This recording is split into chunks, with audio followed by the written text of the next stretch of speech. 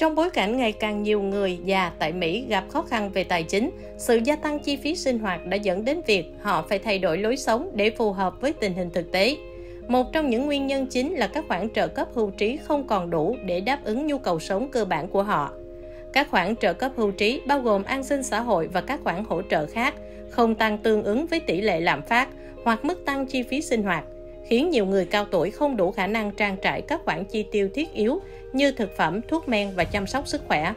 Để đối phó với tình trạng này, nhiều người già buộc phải điều chỉnh lối sống của mình. Điều này có thể bao gồm việc cắt giảm chi tiêu không cần thiết, tìm kiếm các nguồn thu nhập bổ sung hoặc thậm chí thay đổi nơi sinh sống. Ví dụ, họ có thể chuyển đến những khu vực có chi phí sinh hoạt thấp hơn hoặc cắt giảm các dịch vụ tiện ích và giải trí không cần thiết. Sự thay đổi này không chỉ ảnh hưởng đến chất lượng cuộc sống mà còn có thể tác động tiêu cực đến sức khỏe và tinh thần của người cao tuổi. Để cải thiện tình hình, có thể cần phải điều chỉnh các chính sách trợ cấp và hỗ trợ nhằm đảm bảo rằng người già có thể duy trì một mức sống tối thiểu và an toàn. Trợ cấp không đủ khiến người già Mỹ buộc phải thay đổi lối sống. Theo báo VN Express, bà Janet Albert, 78 tuổi, đang phải thay đổi chế độ ăn uống của mình do sự gia tăng của lạm phát mà trợ cấp xã hội ở Mỹ không theo kịp. Trước đây, bà Albert thường ăn trưa bằng sandwich thịt bò hoặc salad cá ngừ, nhưng hiện nay bà đã phải chuyển sang ăn mì gói, món ăn mà bà chưa bao giờ tiêu thụ trước đây. Bà sống tại Idania, Pennsylvania, nhận trợ cấp 1.163 USD mỗi tháng và cho biết rằng mức trợ cấp hiện tại không đủ để bù đắp cho sự gia tăng chi phí thực phẩm, nhà ở và thuốc men. Bà đã thấy chi phí sinh hoạt tăng đáng kể với việc tiền thuê nhà tăng thêm 65 USD trong 2 năm qua. Hóa đơn tiền điện cũng cao hơn và giá thuốc điều trị bệnh tim cũng tăng. Bà cho biết dù không thích để tóc dài, bà không dám cắt tóc để tiết kiệm chi phí. Tình trạng này không chỉ ảnh hưởng đến bà Abed mà còn đến nhiều người cao tuổi khác ở Mỹ. Nghiên cứu của The Senior Citizen Legit cho thấy sức mua của các khoản hỗ trợ an sinh xã hội đã giảm 20% so với năm 2010. Điều này có nghĩa là một khoản tiền 100 USD vào năm 2010 chỉ còn đủ mua hàng hóa trị giá 80 USD hiện nay, dẫn đến việc người cao tuổi cần thêm 370 USD mỗi tháng, tức là 4.440 USD mỗi năm để bù đắp. Ông bà Tom và Susan Freyer từ Palmdale, California cũng cảm thấy áp lực tài chính. Họ từng có thể tiết kiệm đủ tiền để đi du lịch kỷ niệm ngày cưới, nhưng giờ đây họ phải dùng tiền cho các khoản chi tiêu thiết yếu như xăng và thực phẩm. Bà Nancy Port, 74 tuổi, cũng thấy sốc khi giá một quả ớt chuông tăng 2 USD, đồng thời hóa đơn tiền điện và nước của bà đã tăng gấp 3 và gấp đôi so với năm 2016. Mặc dù trợ cấp an sinh xã hội được điều chỉnh hàng năm theo chi phí sinh hoạt, mức điều chỉnh thường không đủ để theo kịp lạm phát thực tế. Trong giai đoạn 2010 đến 2024, trợ cấp tăng 58%, trong khi giá hàng hóa và dịch vụ mà người về hưu thường mua tăng đến 73%. Năm nay, trợ cấp chỉ tăng 3,2% do lạm phát hạ nhiệt nhưng The Senior Citizen League dự đoán mức điều chỉnh trên năm sau sẽ chỉ khoảng 2,6%, không đủ để đáp ứng nhu cầu của nhiều người cao tuổi. Shannon Benton, giám đốc tổ chức này cho biết, chi phí nhà ở và thực phẩm tiếp tục tăng mạnh, buộc nhiều người cao tuổi phải giảm chi tiêu và sử dụng thẻ tín dụng. Bà Obed cảm thấy khoản trợ cấp của mình ngày càng mất dần sức mua vì giá thực phẩm và điện đều tăng, khiến mọi thứ trở nên đắt đỏ hơn so với trước đây.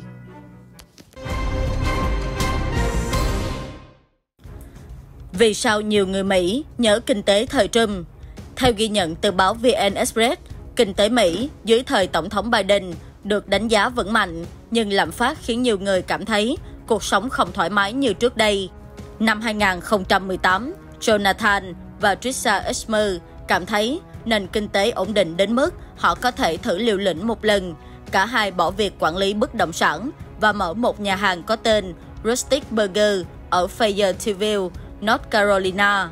Trisha Esmer từ lâu đã muốn sở hữu một nhà hàng. Anh thiết kế thực đơn với 20 loại burger. Hai vợ chồng không khó khăn trong việc tuyển nhân viên với mức lương khởi điểm 9 USD một giờ. Giá thực phẩm khi đó cũng dễ chịu, giúp họ duy trì 9,99 USD cho combo gồm burger, khoai tây chiên và nước uống. Một năm sau, họ mở thêm chi nhánh. Năm 2020, khi cả hai có kế hoạch mở nhà hàng thứ ba, Covid-19 ập đến. Hai năm sau đó, họ phải đóng hết các nhà hàng và quay về công việc cũ. Gia đình Esmer khó tìm nhân viên đáng tin cậy và cũng không thể trả đến 14 USD một giờ để cạnh tranh với các nhà hàng khác. Giá thực phẩm cũng tăng mạnh, cánh gà và vỏ burger đắt hơn gấp đôi, còn thịt bò dùng làm nhân burger tăng gấp rưỡi. Chúng tôi không thể cứ tăng giá mãi, khách hàng rất bực mình rồi, Jonathan Esmer nói. Anh cho biết khách hàng đã phản ứng khi anh tăng giá combo burger lên 10,99 USD.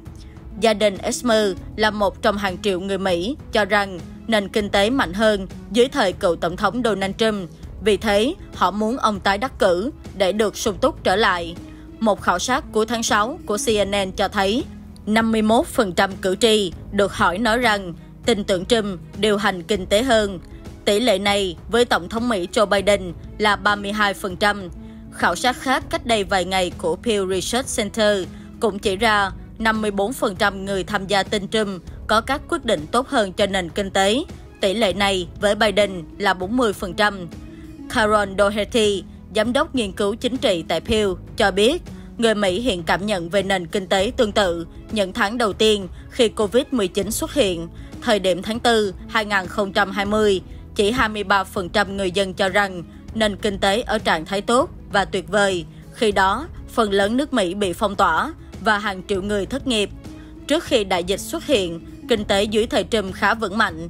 Thực tế, khi nhậm chức năm 2017, ông thừa hưởng nền kinh tế vốn đã tích cực từ trước đó. Thị trường việc làm lúc này ghi nhận chuỗi tăng trưởng dài kỷ lục trong 3 năm tháng 1 2017 đến tháng 2 2020, Mỹ có thêm trung bình 181.000 việc làm mới mỗi tháng. Tỷ lệ thất nghiệp ở mức thấp nhất 50 năm tại 3,5%. Mức thất nghiệp của người da màu cũng xuống thấp kỷ lục là 5,3%. Dù vậy, tỷ lệ này dưới thời Biden thậm chí còn thấp hơn, khoảng 4,8% đầu năm 2023. Thu nhập trung bình của các hộ gia đình Mỹ tăng mạnh nhất trong hơn 4 thập kỷ, lên kỷ lục 68.700 USD năm 2019. Theo Cục Thống kê Mỹ, hộ nghèo cũng giảm còn 10,5%, thấp nhất 60 năm. Dưới thời Trump, thị trường chứng khoán cũng ghi nhận chuỗi tăng dài nhất lịch sử. Tuy nhiên, Wall Street vốn đã tăng tốc từ khi cựu Tổng thống Mỹ Barack Obama nhậm chức nhiệm kỳ 2. Xét theo nhiều góc độ, nền kinh tế dưới thời Biden cũng mạnh. Tổng thống Mỹ nhậm chức khi đại dịch vẫn hoành hành. Dù vậy, các chính sách hỗ trợ đã giúp nước này bùng nổ tiêu dùng trong và sau đại dịch. Tiêu dùng là lực đẩy cho nền kinh tế lớn nhất thế giới vài năm qua, dù lạm phát và lãi suất đều cao nhất hàng thập kỷ. Nguyên nhân là người dân tích lũy số tiền lớn trong đại dịch. Hai năm qua, thị trường lao động nước này cũng cải thiện đáng kể, vượt qua giai đoạn đầu nhiệm kỳ của Trump. Tỷ lệ thất nghiệp cũng duy trì dưới 4% trong 27 tháng liên tiếp. Tỷ lệ phụ nữ có việc làm lên cao nhất mọi thời đại hồi tháng 5. Dù vậy, với nhiều người, đặc biệt là những người không thất nghiệp, nền kinh tế không chỉ xoay quanh vấn đề về việc làm, lạm phát cũng được quan tâm nhiều. Bernard Yaros, nhà kinh tế học tại Oxford Economy cho biết trên CNN, giá cả tại Mỹ từng tăng vọt do đại dịch và các chính sách hỗ trợ của chính phủ. So với đỉnh điểm 9,1% giữa năm 2020, giá cả đã hạ nhiệt đáng kể. Chỉ số giá tiêu dùng CPI hiện là 3%, thấp nhất 3 năm. Tuy nhiên, điều này vẫn chưa khiến các hộ gia đình Mỹ thấy thoải mái. So với tháng 2 2020, CPI nước này đang cao hơn 20%. Việc này ăn mòn thu nhập của nhiều người Mỹ, trái ngược với những năm đầu trong nhiệm kỳ Trump. Trước đó, lạm phát ổn định ở mức dưới 3% 2016-2020. Trong 4 năm, trùm điều hành kinh tế, tăng trưởng lương cũng cao nhất 40 năm. Dù vậy, giới phân tích chỉ ra nguyên nhân là 21 triệu người Mỹ mất việc giai đoạn này, chủ yếu trong các ngành trả lương thấp. Vì thế, khi tính toán, lương trung bình lại tăng lên. Người dân không nhìn vào sự thay đổi của giá cả, mà chỉ biết giá một vị trứng bây giờ cao hơn 2 năm trước. Tôi cho rằng đây là điều khiến Biden gặp bất lợi trên góc độ điều hành kinh tế. Jarrod cho biết trên CNN. Trong một nghiên cứu đầu năm nay, Jarrod cũng cho biết lạm phát đang đè nặng lên tâm lý của cử tri dao động, chưa quyết định bỏ phiếu cho ứng viên nào. Nhóm nghiên cứu của ông tìm ra rằng nếu cử tri này quan tâm đến vấn đề giá tăng bao nhiêu từ sau khi Biden nhậm chức, Trump có thể thắng cử. Ngược lại, Biden có thể thắng nếu họ đánh giá lạm phát thay đổi thế nào qua từng năm và thu nhập của mình sau khi điều chỉnh theo lạm phát là bao nhiêu. Ted Soward, Burlington, North Carolina đánh giá tài chính cá nhân hiện khá thoải mái. Tuy nhiên, lạm phát vẫn ảnh hưởng lớn đến cuộc sống của vợ chồng ông. Họ ít ăn bít tết ở nhà hơn và cũng ít ra ngoài ăn ở nhà hàng sang trọng. Họ vẫn dùng chiếc ô tô cũ thay vì mua cái mới. Soward từng làm giám đốc mua hàng tại một công ty lắp ráp xe tải và đã nghỉ hưu 15 năm trước. Tôi tin tưởng vào Trump hơn. Trong nhiệm kỳ của Trump, lạm phát rất thấp. Tôi không nghĩ Mỹ đã kiểm soát được lạm phát, ông nói. Năm 2016 và 2020, ông cũng bỏ phiếu cho Trump. Becky Central, Land O'Lake, Florida cũng nhận thấy giá cả tăng mạnh mỗi khi đi siêu thị. Gần đây, bà quyết định không mua mayonnaise vì giá tăng 37% so với vài năm trước, lên 7,88 USD một chai. Hãng bán lẻ Dollar Tree cũng chấm dứt chính sách đồng giá 1 USD sau 35 năm và nâng giá với hầu hết sản phẩm lên 1,25 USD từ cuối 2021. Central từng không tìm được công việc nào đủ chi trả cho sinh hoạt, vì thế bà phải làm hai việc cùng lúc. Hồi đầu tháng 3, bà mới tìm được công việc có thu nhập khá hơn, nhưng Central vẫn dự định bỏ phiếu cho Trump tháng 11 này. Mọi thứ đều rẻ hơn trước khi Biden trở thành tổng thống, bà cho biết.